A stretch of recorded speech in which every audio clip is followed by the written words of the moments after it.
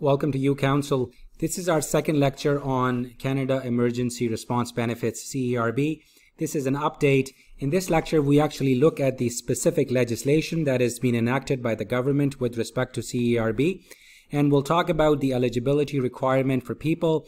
Uh, the information is a bit new and slightly different than what we had stated in our previous lecture, so it's important to uh, listen to this lecture. Also, some of the people had raised in their comments about the requirement of having $5,000 in income to be eligible for CERB, and that information is correct. We elaborate that um, on, in this lecture, and we appreciate those people who have uh, um, given us information on that. Uh, that issue. We begin with our usual disclaimer that this lecture is not legal advice, so if you have any specific questions, you should contact a lawyer or a paralegal or Service Canada or Canada Revenue Agency to confirm whether you are entitled to these benefits or not. Today we'll talk about how much benefits you could be entitled to, who are the individuals who will receive CERB, and who are individuals who may be ineligible. Let's talk about how much. So far we understand that individuals who will be entitled to CERB will get $2,000 per month taxable, and this is a flat amount that everyone will get. I am not so sure about this amount being the flat $2,000 based on Section 7 Sub 3 of the legislation that has been enacted. So I wanted to share that information with you. Now, this is the legislation that has been enacted uh, on March 25th, 20, 2020, Bill C-13, and it has a number of legislation that has been approved. And part two is Canada Emergency Response Benefits Act, which I wanted to show you.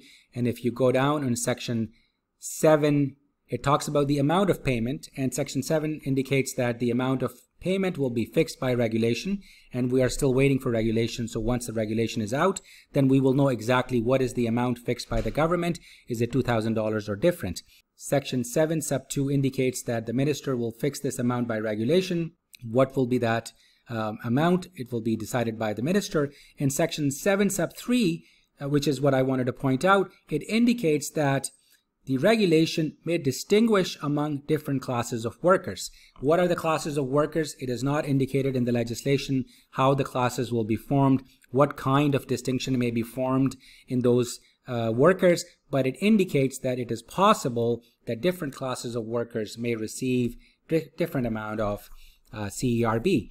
And that kind of makes sense because if you look at it, if you are an individual who is entitled to regular EI benefits and the amount that you're getting is less than $2,000, let's say $1,500 a month, and you're entitled to regular EI benefits, but a person who is not entitled to regular EI benefits but gets the CERB, and that person will get $2,000 per month. So from the perspective of a person who has qualified for EI, it is a bit unfair that that person will receive less money and the person who has uh, qualified for CERB and who has not qualified for EI may receive more money. But this is only the point that I wanted to raise that this amount may be different. We will have to wait and see what does the regulation indicate and only then we will know what amount will be paid. Who will receive CERB? There are three requirements. Number one, the person has to be worker. There is a specific definition of worker in the legislation. Number two, that worker has to be eligible. Again, the eligibility is defined in the legislation. We'll talk about it. And third, the person must apply. If the person doesn't apply, then the person will not automatically receive CERB, even though the person, the worker may be eligible. Now, who is the worker? Section 2 defines a worker. The worker is at least 15 years of age. The person has to be a resident in Canada. Now, this is not defined who will be a resident in Canada. I've posted a link. This is from CRA for the purposes of income tax, so may not apply to the circumstances of this case. But the reason I posted this link, and I wanted to show you what this link indicates, um, this shows if you want to determine your residency status with respect to your taxes, then these are the steps that you need to go through to determine that. The point I wanted to make is that it's not that straightforward whether you're resident of Canada or not. So some of the people had asked this question that they were uh, laid off from their employment and they were working on a work permit uh, in Canada. So whether they will receive CERB or not. So the answer is I don't know. But what I do know is that you have to be a resident in Canada. Whether that specific person will qualify as a resident or not, it is not explained and you'll have to wait for the regulation. Number three, to be a worker, the person must have earned $5,000 in 2019 or at or in the last 12 months from the date that you apply for CERB. So if you apply for CERB on April 6th, then 12 months preceding April 6th, you should have earned $5,000. So what is the source of that $5,000 that will be considered okay for eligibility? Number one, if you earn $5,000 through employment, that's great. If you earn those 5,000 through self-employment, it will be counted. If you are receiving EI, but only for maternity or parental benefits, then those will be counted. Important to note that if you are receiving EI for regular benefits or sickness benefits, you cannot count those money towards 5K, only for maternity or parental benefits. Similarly, if you are receiving money from a provincial plan for pregnancy or child care for a newborn or an adopted child, child then you can count that money towards $5,000 uh, as a worker. So if you have not made $5,000 in 2019 or in the last 12 months in any of these categories, then you will not be considered a worker and therefore you will not be eligible for CERB. Now, with respect to eligibility, it is Section 6 of Canada Emergency Response Benefit Act that provides information about eligibility. Important to note that the person must cease working due to COVID-19. So the, the cessation of work is tied to COVID-19 Number two, at least the person should be off uh, work for at least 14 days within the four weeks period against which you are applying. And the way the legislation indicates is that you will get uh, payment for every four weeks. And I suspect you will apply every four weeks for the next payment until the, the entire 16 weeks is uh, consumed. Third thing uh, for eligibility is that during the time period for which you are applying, you have received no income from what sources? From employment, self-employment, EI, and in this case, all kinds of EI is included, whether it's regular, illness, parental, maternity. If you were receiving EI, then you will not be eligible for CERB. If you were not receiving any EI, no income from EI, then you will be eligible.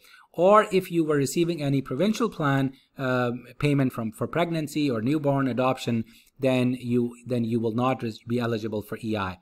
And the last point is important or any other income that is prescribed by regulation. So we will wait for the regulation. But what could this show? Let me give you an example. What if you had four rental houses from which you were receiving rental income? Would you still be qualified for CERB?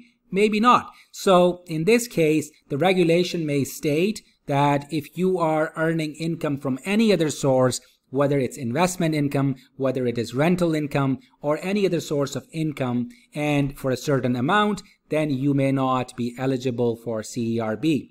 So we will have to wait and see what does the regulation state with respect to the income. If you are not earning any income for the period for which you're applying from any of these sources, only then you qualify for CERB.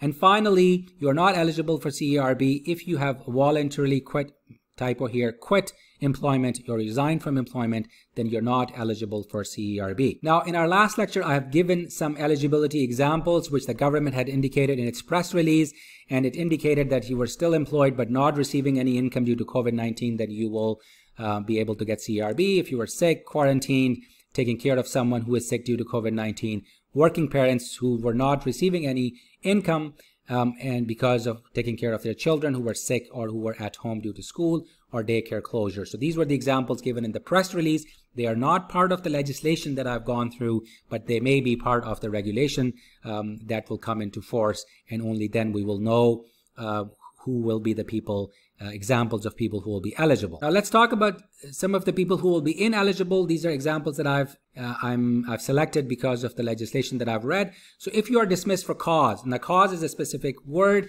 that is used in employment law, you may be aware of it. But essentially, if you have done any wrongdoing at work and that caused your dismissal, then you will not be eligible for CERB. If you cease working for reasons unrelated to COVID-19, an example of that could be you received your termination notice back in July of 2019 that your employment will end on March 30th, 2020. Now that termination of employment is unrelated to COVID-19 because it is prior to the outbreak of COVID-19. In that case, based on the legislation, you will not be eligible for CERB. You may be eligible for EI, for regular EI benefits, but not CERB.